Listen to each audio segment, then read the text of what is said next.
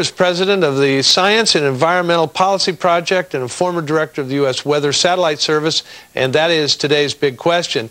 Is global warming causing this world's weather to go haywire? No, I'm afraid uh, that the World Meteorological Organization is again just hyping the uh, global warming issue. Uh, you know, uh, weather is always unusual somewhere in the world, and the longer you observe, the better the chance of finding extreme values. So it's just a matter of statistics. If you have a longer record, you'll find more extreme values. And that's what's happening here. Well, okay, but Dr. Singer, forgive us, but we don't believe in coinky dinky around here. And when you have a month like we had in the spring where what was it, 300, 400 tornadoes hit Tornado Alley, and, and normally it's in the 60s, 70s, 80s. Uh, this, this rain that's been going on in the East Coast, it wasn't all that great of a winter, by the way. Uh, and then, and then the, uh, you know, the, uh, the areas of the Alps that are normally uh, nice and crisp and cool are burning up in June. Something's happening, isn't it? Yeah, well, that's just my point. The weather is, certainly is unusual, but it's always unusual. It'll be more unusual a few years from now. Uh, and the longer we observe, the more unusual weather we'll find. In any case, the most important point is it has really nothing to do with global warming. Well, why can you say that? Because uh, we have we have data. The best data we have come from weather satellites and weather balloons, and they show that the atmosphere is not warming.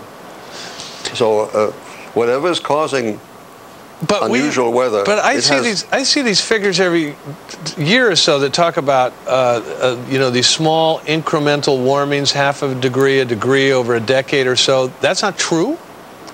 Not according to the weather satellites, and believe me, I, I, I do have the data. We look at them all the time. Uh, they've shown a minor warming.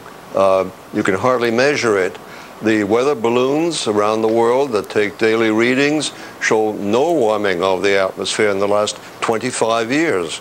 So uh, the greenhouse effect is not producing uh, a warming and certainly cannot be blamed on uh, the unusual weather.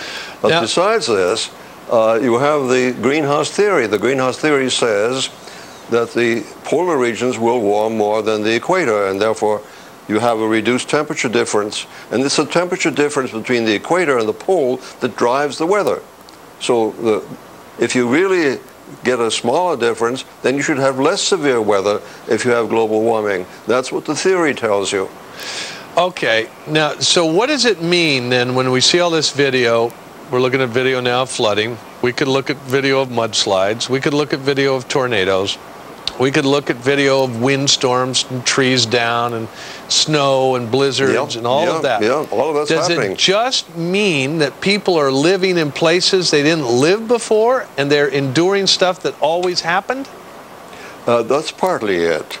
Uh, but there also are some human influences, and we don't understand them yet. They have nothing to do with global warming, however. There's, for example, this big brown Asian cloud we've been reading about, and that's real there's a lot of pollution, ordinary pollution, being created in South Asia. And that is so large, it covers such a large part of the globe, it may have an influence on weather around the globe. Dr. Fred Singer, President of the Science and Environmental Policy Project. Dr. Singer, thanks very much, and I hope you have a pleasant weather weekend. Thank you.